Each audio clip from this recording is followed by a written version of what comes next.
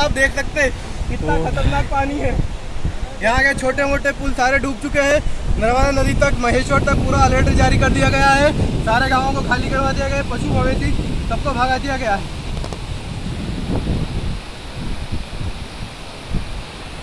सिर्फ़ एक हिस्सा थोड़ा सा मतलब तोड़ने के बाद ये नज़ारा है। आप सोचो कभी एक साथ ये बाँध पूरा टूटता तो क्या होता?